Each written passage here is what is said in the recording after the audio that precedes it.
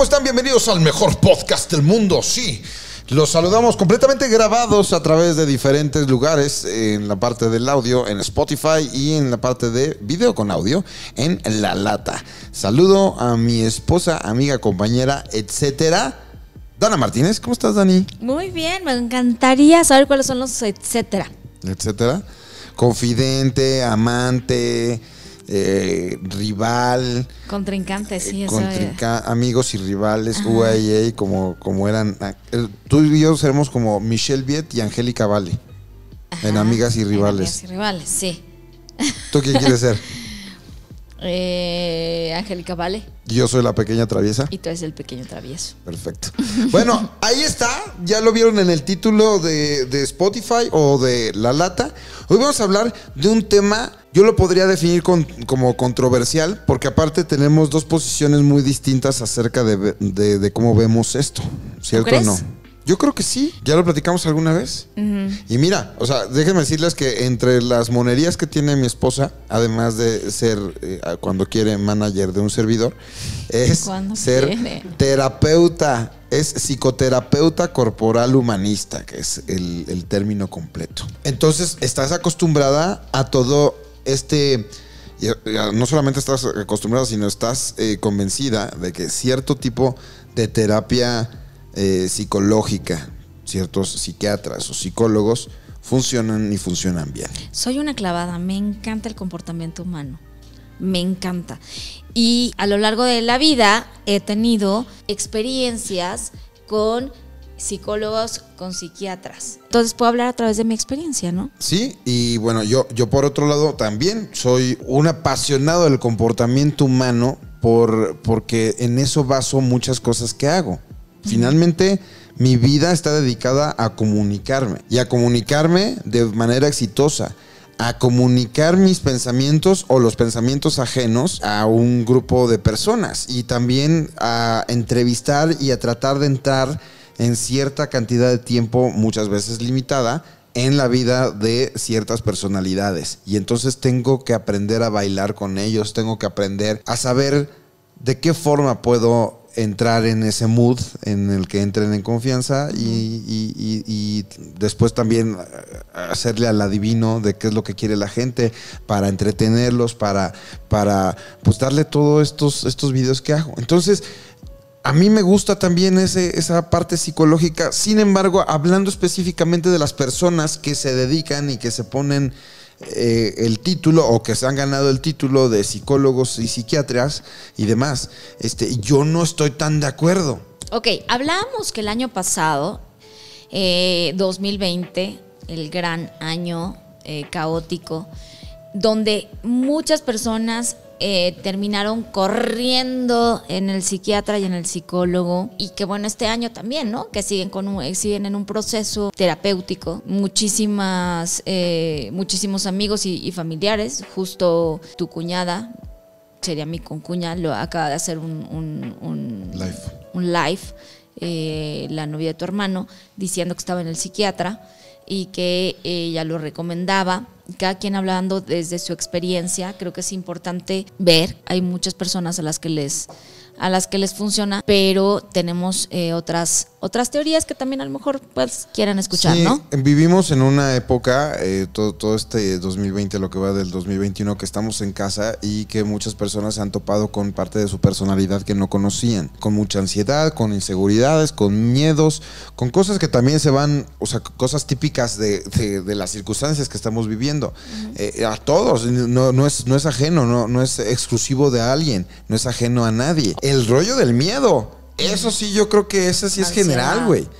A, a todos nos ha dado miedo, nos ha dado ansiedad, nos ha dado ese dolorcito en el estómago, e- ese palpitar, esa taquicardia de, de- de decir, no, yo me enfermé. No mames, ¿qué va a pasar? por las que llegamos muchas veces a un psicólogo y mucha gente eh, lo recomienda, sobre todo la gente adulta te dice, eh, es muy sano, ve al psicólogo, ve al psiquiatra. Dime tu, tu perspectiva, por favor. A ver, están hablando con, o están viendo un- a una persona que tuvo papás que, como todos, tienen, tienen eh, fallas, pero también tenían muchísimos aciertos. un- un una constante en mis papás hacia mí era que siempre estaban buscando que yo estuviera mejor, en cualquier sentido. No, no, no, no tenían eh, grandes recursos, pero los que tenían eh, los usaban para mi educación y para mi bienestar. Eh, como todos los seres humanos, pues tuvieron eh, eh, aciertos y, desaciertos. Uno de los desaciertos los llevó a divorciarse en algún momento, cuando yo, yo era muy joven, cuando yo tenía 13 años, se divorciaron. El punto es que en ese proceso también trataban de entenderme y entonces en algún momento me llevaron con una psicóloga y con una pedagoga para saber qué onda conmigo, qué estaba pasando, porque a lo mejor no se comunicaban de la mejor manera, este, no, no sé, no sé como por dónde iba el asunto, nunca me quedó Bueno. tan claro. ¿Cómo te fue? Yo en perspectiva, yo digo que fue inútil. Así lo puedo definir.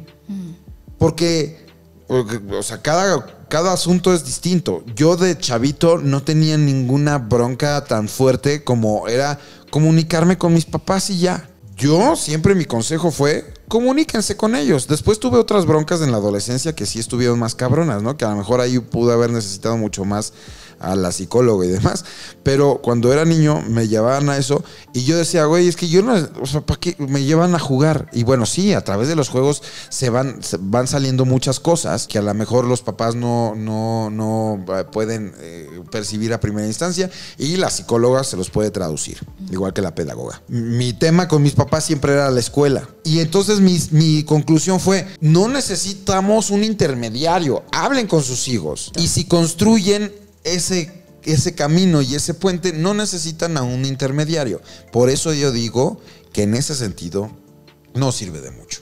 Concretamente a ti no te sirvió. No, Eras muy chiquito, tenías 13 años. Eh, eh, más chico, ¿No te ayudó? no, Ok.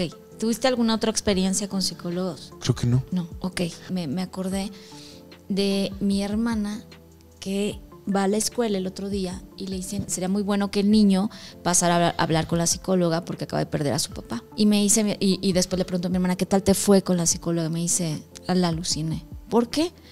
Me dijo, ¿sabes cuál fue la primera pregunta que le dijo, que le hizo al niño? ¿Cuál? Le dijo, ¿cómo estás, mi amor? Oye, y dime una cosa, ¿te pudiste despedir de tu papá? El niño no se pudo despedir de su papá. Y le pregunta, la primera pregunta fue, ¿y te pudiste despedir de tu papá? Que a lo mejor ni siquiera lo estaba pensando. Exacto, exacto. Por Inception. supuesto. Y entonces ahora va a cargar el niño con eso de que no se pudo despedir del papá. A lo mejor la Exacto. puedes regar en otras cosas, pero, pero en esas tienes que tener mucho cuidado. Ahí te va mi experiencia, Alex. Yo he estado con psicólogos desde que yo pude pagármelos. La verdad es que tuve muchos temas. Entonces, cuando pude pagarme un psicólogo, me lo pagué. Vi unos psicólogos en México, cuando vi psicólogos en Puerto Rico, vi argentinos, eh, eh, también estuve con psiquiatras y mi conclusión, estudié psicoterapia corporal humanista y tenía que tener forzosamente para, para llevar todos estos, los cuatro años que estuve en esto, tenía que tener terapeuta yo. Eso es importante decirlo y no sé si nada más en esa escuela que estuviste, pero creo que es en general. Es en general, los psicólogos tienen psicólogos. Exacto. Es como requisito. Sí. Tener psicólogo, los psicólogos tienen que tener un psicólogo. Forzosamente un psicólogo tiene un psicólogo. Está raro, güey. Entonces yo tenía que tener tan treinta y tantas, eh, mm, por así decirlo, ¿no? Treinta y, treinta, treinta y tantas horas de psicólogo al mes o bi- bimestre, no me acuerdo. Tenía que cubrir ese, ese, esas, esas horas para saber que yo estaba siendo también atendida, ¿no? Y, y podía con mis procesos. Ahí te va mi teoría. En mi experiencia, en mi experiencia, eh, un psicólogo lo que hace es mover fibras muy, muy, muy, muy fuertes de tu vida, mover, mover emociones muy, muy fuertes que pocos las saben manejar o que las manejan mañosamente, etcétera. Todos los que llegan al psicólogo le dicen, este, te, te empiezan, obviamente tienes temas con mamá y obviamente tienes temas con tu papá. Y resulta que sales diciendo, claro, es que el problema es con mi mamá. Claro, el problema es con mi papá. ¡Wow! ¡Qué gran descubrimiento! Por supuesto que tienes temas con ellos. Pero entonces empiezan a escarbar acerca de tu papá, acerca de tu mamá. Y lo que sucede es que desde mi perspectiva, sí hay que hacer un trabajo con tus papás, siempre hay que hacer un trabajo con tus papás, pero desde otro lugar, desde el amor, no desde la víctima. Y los psicólogos lo que hacen muchas veces, o lo que, me, lo que, lo que hicieron, yo quiero hablar desde mi perspectiva, es llevarme a la víctima, a que yo era la que fui la víctima de mi mamá, la víctima de mi papá, la víctima de mi familia, pero no me hacían a mí em, lo que me no, no me hacían responsable y entonces caes en un tema muy depresivo.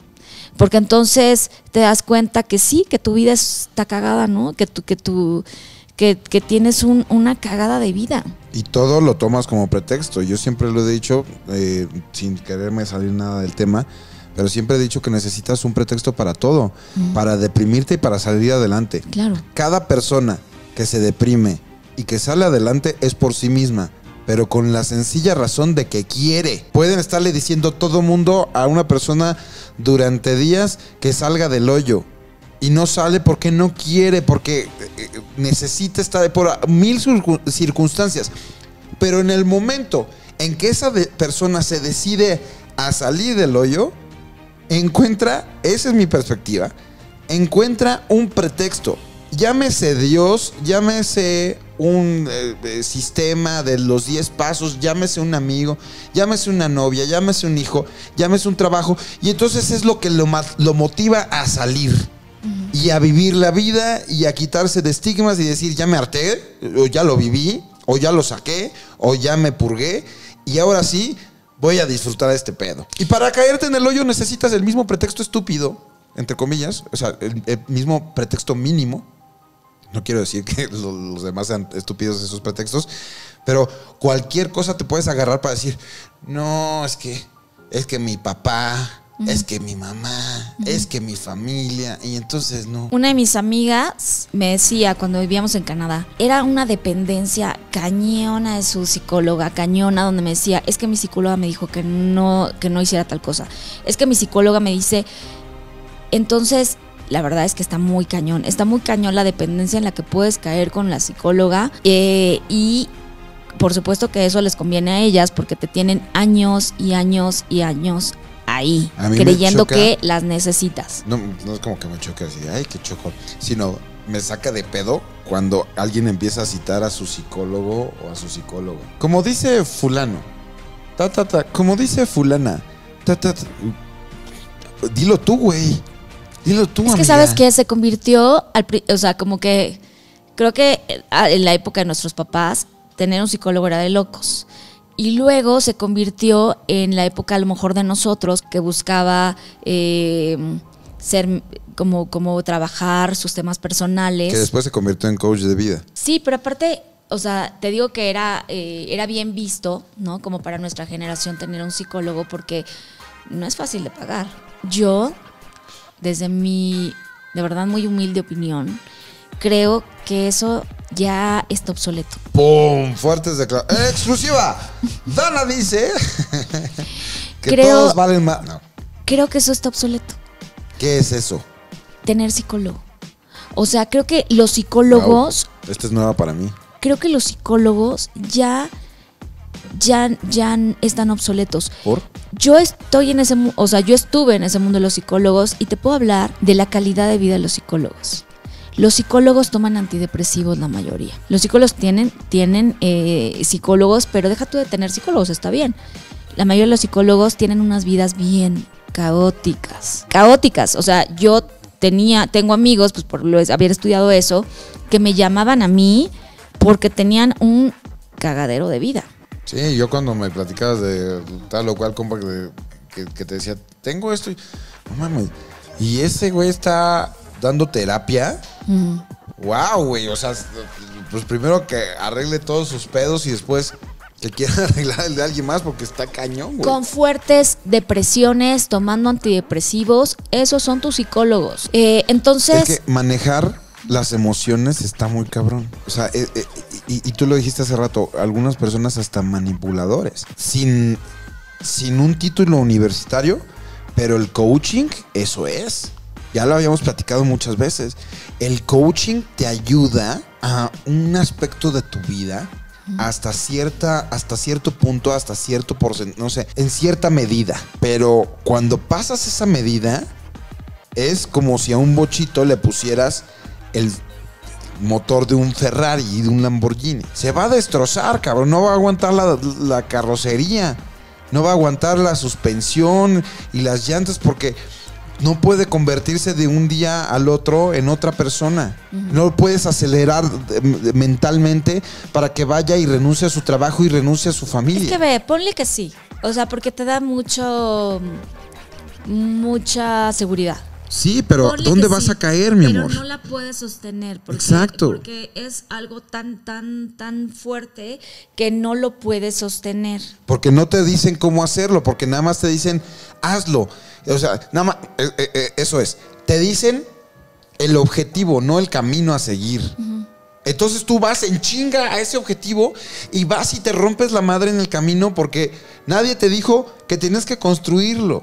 Que si estabas en, en el paso uno y querías llegar al 100, no podías saltar en un, echártelo en un salto porque seguramente no vas a llegar en el barranco. Estás de dos, dos extremos de barranco y necesitas un puente con el cual construirlo para pasar del otro lado. No brincar porque seguramente no te va a alcanzar la energía y te vas a romper la madre por muy seguro que estés de ti mismo y de todas tus facultades y de que vales mucho y mereces respeto. Es que creo que se fueron al polo, al un polo ta- totalmente opuesto, ¿no? El coaching. Eh, yo también estudié, estuve en- en- en ese ambiente del coaching y me gustó.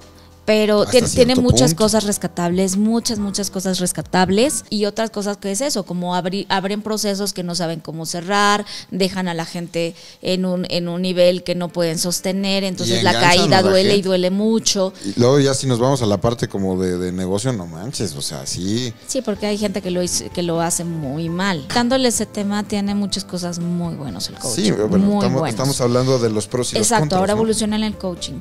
Pero yo tengo otra evolución.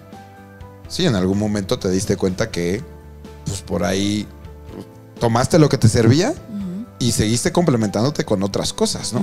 Desde mi perspectiva, no hay nadie que te pueda decir cómo dirigir tu vida más que tú. Pero tú, tu yo, tu yo grande, tu yo maestro, tu yo, tu yo que está aquí adentro, no el yo que está en la mente. Entonces, si llegas a hacer contacto con ese yo interior, con ese yo espiritual, con, con- con- con ese, con esa grandeza que hay en ti, no necesitas a nadie. No necesitas que te digan si debes seguir o no con tu esposo, lo que sea, si, si, si debes de sentir resentimiento o, cómo sanar el resentimiento con tu mamá, porque hasta eso te dicen los psicólogos. Te hacen ver que el problema es tu madre o tu padre y que debes de sanar ese resentimiento y cómo sanarlo. No hay nadie, de verdad no hay, desde mi perspectiva, porque eh, eh, no, hay, no hay nadie que, que pueda que pueda decirte cómo más que tú. Más que, pero no tú, tú no tú este tú, sino un tú que está eh, dentro de ti. Entonces queremos todo fácil y queremos que la gente nos diga cómo hacerlo. Ese es el problema. Que queremos que la gente nos diga cómo sanar nuestras relaciones. Que diga punto número uno, paso dos, paso tres, paso cuatro y listo, ¿no? Exacto. ¿Qué es lo que sirve? Claro que a cualquiera nos va a servir sentarnos frente a una otra persona y decir y, y desahogarte. Eso le sirve a cualquiera. Ahora, si te vas a desahogar con tu mejor amigo, o, o deja tú con tu mejor amigo, con tu, con alguien que no tiene unas experiencias de vida eh, que no son tan virtuosas o que no, que son más depresivas o que está, pues él seguramente te va a hablar desde su depresión, seguramente te va a hablar desde su ansiedad, seguramente si, si le cuentas a alguien y, eso- y ese alguien vive desde el miedo, te va a dar unas, unas, unas sugerencias eh, eh, que tienen que ver con miedo, con ansiedad, algunas recomendaciones así, pues mejor, claro. O sea, si, si, si ese es tu recurso, pues claro, es mejor un terapeuta, es mejor un psicólogo que te escuche y que mm, pueda platicar contigo. Realmente creo que es más allá, eh, es, es una plática. Ahora, hay terapias muy buenas como la gestalt. Los, los gestaltistas, ¿no? que creo que así se dice, trabajan con lo que en este momento está está, está en la superficie, con ese miedo, con esa tristeza, trabajan con eso y eso es eso sí me parece muy muy padre, muy rescatable, ¿no? Y, y los, y los terapeutas humanistas eh, somos muy cuidadosos, precisamente se le llama humanista, porque somos muy cuidadosos con el proceso de las personas, no somos invasivos, que es, eso es muy importante, respetando el proceso de la persona sin violentar ese proceso. Todos tenemos pedos en la vida, todos, absolutamente todos, los que veas guapos, feos, ricos, pobres, jóvenes, viejos, todos. Creo que desde, desde mi punto de vista, la clave, lo ideal, es aprender a vivir con, con tus demonios. Porque nadie es luz pura. Todos tenemos luz y sombra. Todos tenemos experiencias chidas y experiencias no tan chidas. Hay que aprender a vivir con eso. Hay que, hay que hacer las paces con cada uno de los capítulos de tu vida y desde el cliché que se ha escuchado en varias bocas, que todo lo que has pasado es lo que te ha convertido en lo que eres hoy en día, pues así yo, esa sería mi perspectiva. Abraza esas, esas, experiencias, las buenas y las malas, porque gracias a eso has logrado otras cosas. Todo, todo mundo vamos a tener carencias, ¿no? Seguramente, o sea, el hubiera no existe. Si mi abuelita tuviera ruedas sería bicicleta. No, no existe. Eres lo que eres hoy en día. Pero tienes la posibilidad de decidir si le das más peso a la luz o a la oscuridad. Así es, pero, pero sí es súper importante, además de eso, sí hay que trabajar con lo que está pasando. O sea, si tú tienes una mala relación con tu mamá, no es como que no la veas. Si tienes una mala relación con tu mamá, puedes trabajar desde la responsabilidad y no desde la culpa o desde la victimización. O sea, si tienes una, como ejemplo, si tienes una mala relación con tu mamá, porque te, lo digo desde lo que yo viví, mientras yo fui una víctima de esa eh, relación, pues claro que me tardé años, años para llevar una buena relación con mi mamá hasta que, hasta que eh, dejé de ser una víctima y me hice responsable y, la, eh, y, em, sané esa relación con amor. Y te lo juro que no fue ningún terapeuta, te lo juro que no fue ningún psicólogo. Fue mi corazón y mis ganas de estar bien pero sí aceptando que yo era la que estaba, la que estaba distorsionando muchas cosas, que yo era la que estaba eh, sintiendo más dolor del que debería de sentir, que yo era la que estaba juzgando más de lo que debería de haber juzgado, haciéndose responsable de las cosas, o sea, yo no estoy diciendo, yo, yo, más bien, lo que yo creo es que sí uno se tiene que hacer responsable de lo que está pasando en tu vida y sí hay que trabajarlo. Entonces, de, eh, yo, yo digo, en mi caso, que sí he visto una gama enorme de psicólogos, de terapeutas que estudié esto, eh, psiquiatras que me, que me medicaron en algún momento de la vida y que es nefasto, perdón, ese tema este, y que lo he visto con mucha gente que se vuelve hiperdependiente de los medicamentos y que lo único que hace es alejarla mucho más de ellos mismos. Yo creo, porque yo lo he vivido así, la respuesta está dentro de nosotros. Todo esto que le estamos platicando Perdón por ser reiterativo y lo he repetido como 400 veces. Es desde nuestra perspectiva, porque seguramente algún psicólogo está viéndonos y dice, ¿cómo? Oye, tengo amigos psicólogos, muchos, muchos amigos psicólogos. no les vas a caer Que no les va a caer muy bien, pero bueno, pues es lo que me ha pasado a mí. Sí, Hay gente como, yo decía, Fer acaba de decir, ¿no? La novia de tu hermano, que ella está con psiquiatra y ella lo recomienda. Porque hay personas que claro que les funciona o eh, que a la edad de Fer yo también estaba, estaba eligiendo esa, estaba haciendo esa elección en mi vida, ¿no? Pero pero hay gente eh, a la que nos ha funcionado otras cosas. Entonces creo que es lo que a ti te resuene. Porque eh, ahorita lo, lo, estabas platicando, o sea, también es como el círculo en el que, en el que nos vayamos moviendo. Yo, te lo dije hace rato, eh, yo en perspectiva dije que no me sirvió, que yo prefería, que hubiera preferido platicar con mis papás. Porque yo sabía que mi papá y mi mamá tenían los argumentos y la educación y los suficientes eh, valores para guiarme y para comunicarse conmigo.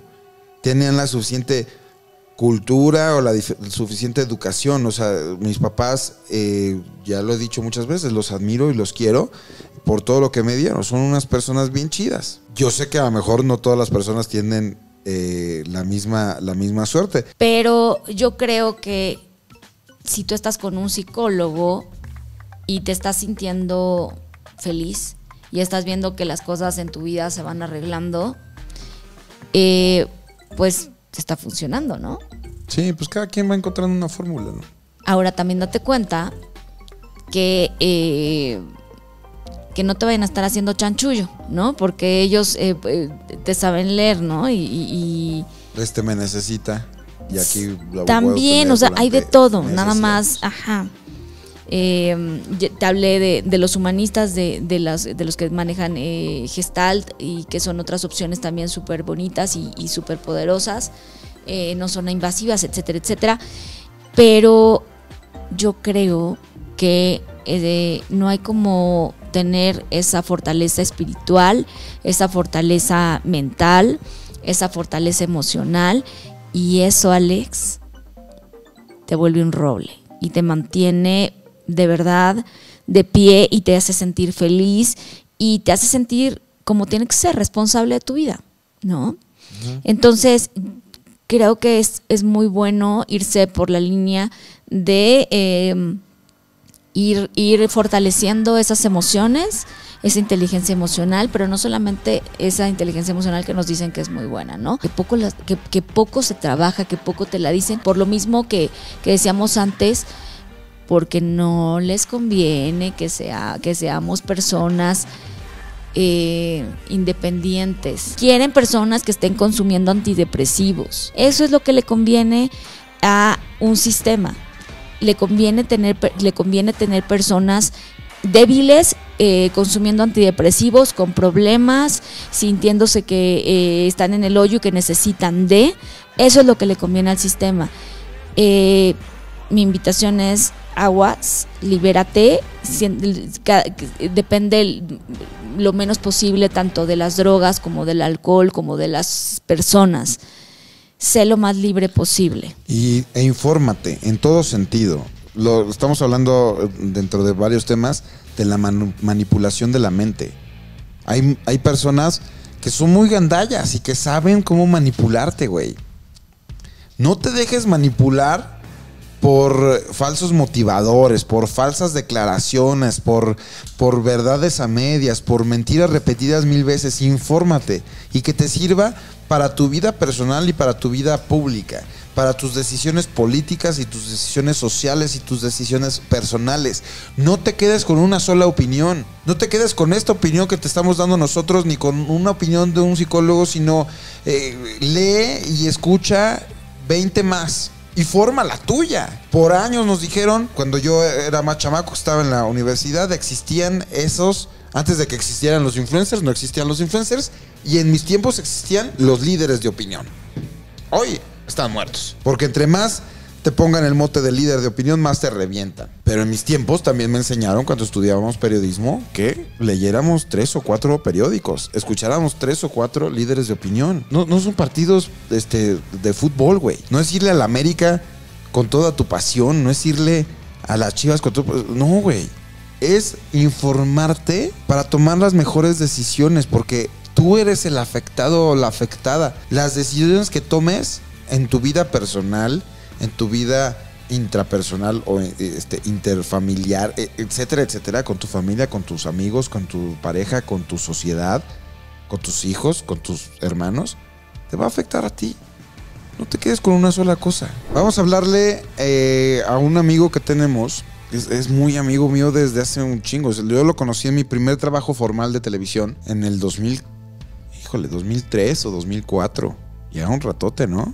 Y siempre se portó a toda madre conmigo. eh, lo han visto en diferentes programas de televisión. Es actor, es comediante, es conductor. Se llama Morris.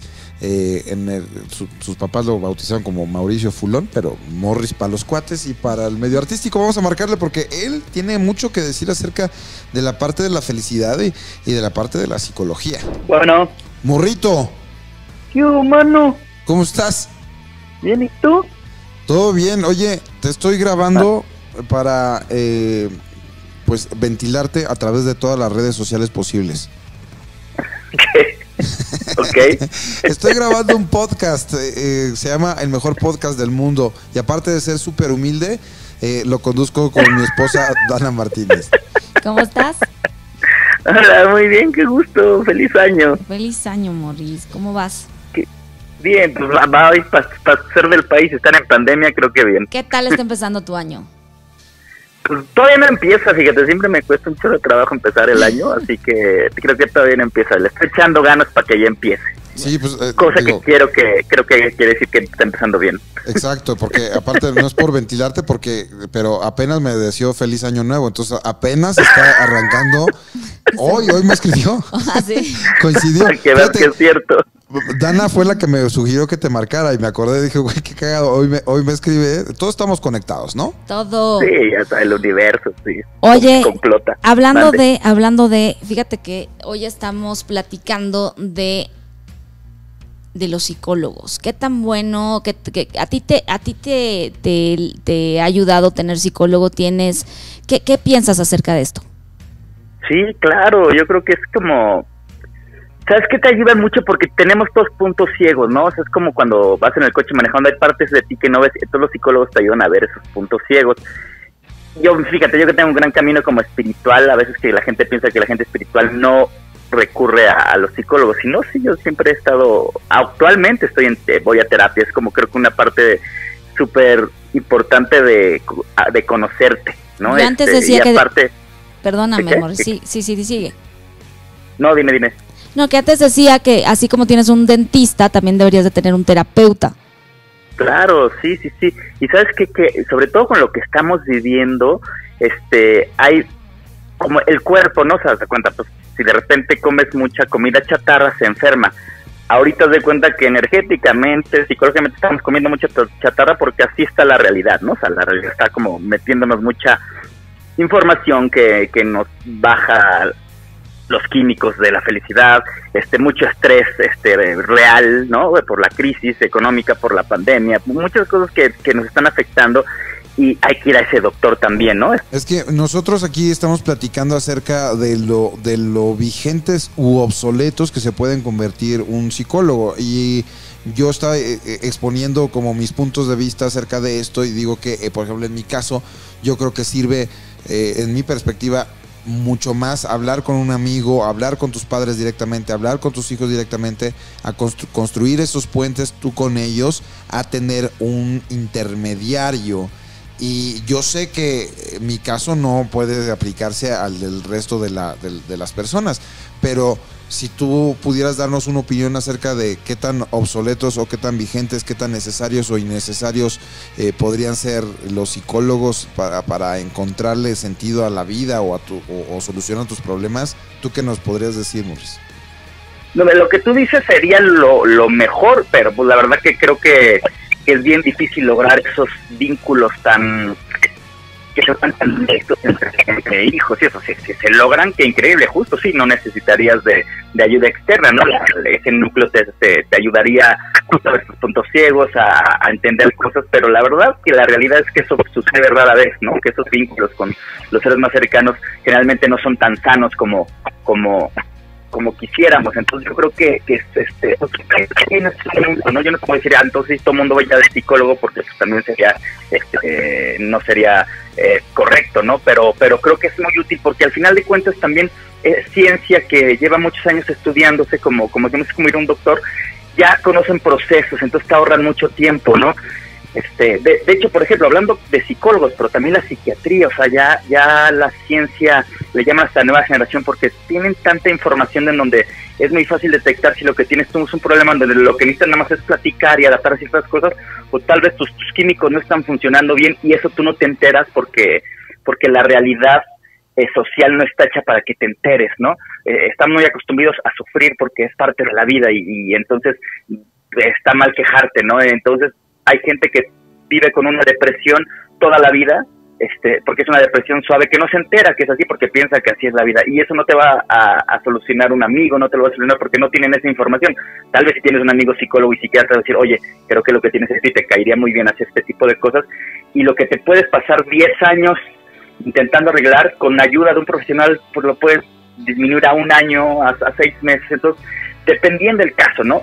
Lo que tú dices es hermoso, pero la verdad que creo que es un poco lejano de la, de la realidad en general. Tal vez tú que estás más chavo y que tienes hijos podrías ahorita con, pues, con lo que estamos viviendo, como estamos aprendiendo y estamos más abiertos a, permitirnos ser vulnerables en frente de los hijos, a, saber que está bien que un niño llore, pero las generaciones como las no como la mía, ¿no? De aquí para arriba no no sucedía, entonces esos vínculos creo que no son tan sanos y a veces tú buscas un consejo y lo que recibes es un regaño, a veces lo que piensa tu papá es bien diferente a lo que tú piensas, a lo mejor tú traes un conflicto de personalidad sexual y, y tu papá es conservador, entonces no te va a poder ayudar como debería. Entonces, dependiendo del caso, digo, lo que tú dices para mí sería como el, la utopía, ¿no? O sea, ojalá un día se logre y si tú lo logras, qué, qué belleza, ¿no? Qué belleza, pero pero creo que los profesionales nos pueden ayudar en, en muchos ámbitos este que la familia a veces no podría, ¿no? Sí. O, la- o los amigos.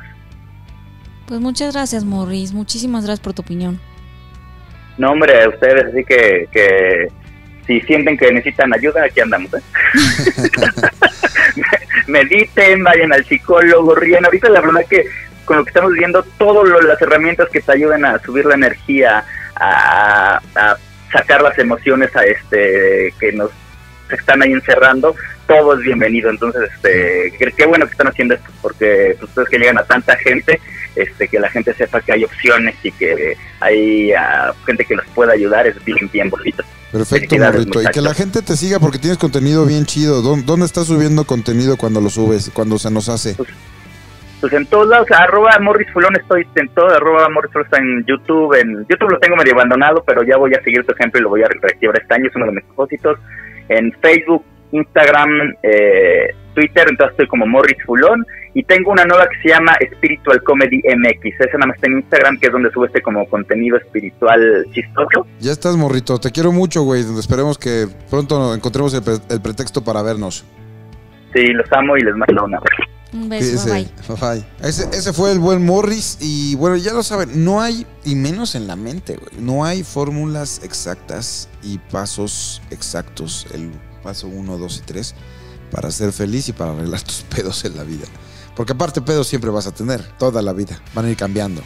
De cuando eres niño, adolescente, este, adulto, ancianito, lo que sea, siempre vas a tener rollos que resolver. ¿Estamos de acuerdo? Nomás no dejes que se te acumulen porque si no, cada vez la carga va a ser más pesada. Listo, pues síguenos en las redes sociales. A esta mujercita en arroba Dana Reconexión. Y a un servidor en arroba Alex Monsi. Y también suscríbanse en La Lata y también síganos a través de Spotify en el mejor podcast del mundo. Gracias. Gracias a ti, mi amor. Nos vemos en el cine. Bye. bye.